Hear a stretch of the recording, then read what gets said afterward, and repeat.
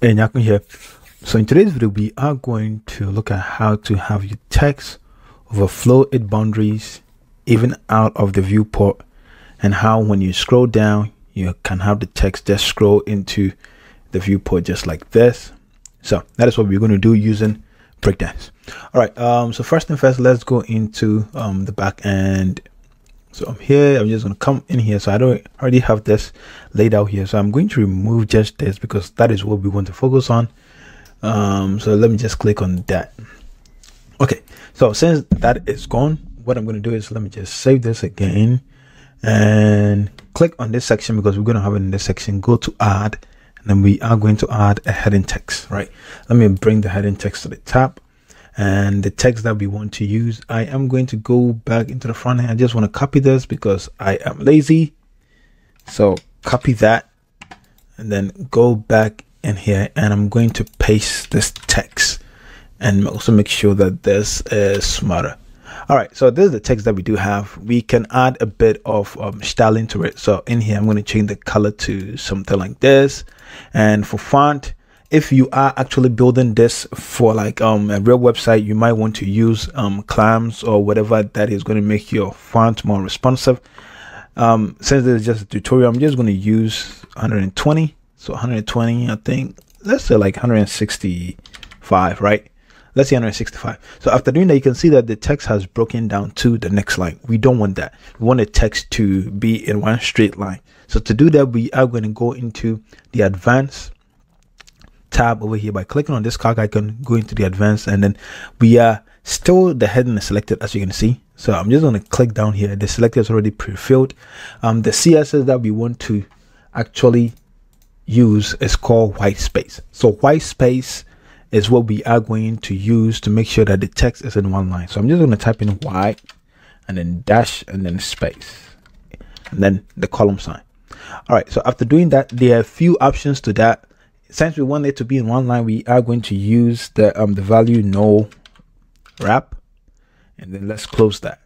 All right, so when you do no wrap, this is what you are going to get. I am going to save this, and then let's go into the front end and then see what you've done. All right, so we have something like this. So we do have our text now overflowing boundaries. And also if let's say you are building it in a div, you want to make sure that the div has an overflow. So when I go in here, go to modify, ensure my, my overflow is hidden. If my overflow is not hidden, let's say uh, overflow is removed, you might see an overflow option happening over there. All right, so make sure that always you have overflow. If you are doing something like this, you have your overflow hidden. All right, so my hidden. I'm just gonna save that. All right, so the next thing is I'm going to apply the animation that caused the or the scroll animation that we do have. All right, still in this cog icon, I am going to go down to animation and then scroll animation click on that.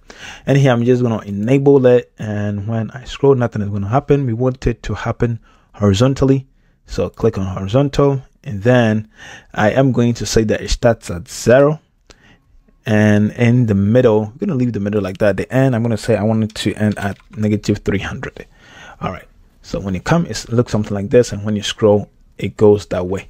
We can save that and then go into the front end so when you start scrolling, you can see that it is coming out just like that. Um, probably what we might want to do is tweak it a bit more. Go in here, go into the horizontal. Probably we want to say that the bottom should be probably, um, let's say I think 35 is good. 36 is not bad. And the top of 100. So we can see that when we scroll, it goes like that. And by the time it gets to um 100, let me just refresh this so the time it gets to 100, everything probably is in frame. We can go back and then just tweak it a bit more by moving this all the way to like uh, 75. And then when we come to the front end and then we scroll, so by 75 of it, everything should probably be in frame. All right, so this is um a short little video to show you how to make this um text the full text and then also how to add a bit of a scroll to it to give it that kind of um like scroll animation that you do see. My name is Nyako. This is OB Studio. Thank you for watching. I'll catch you on the next one.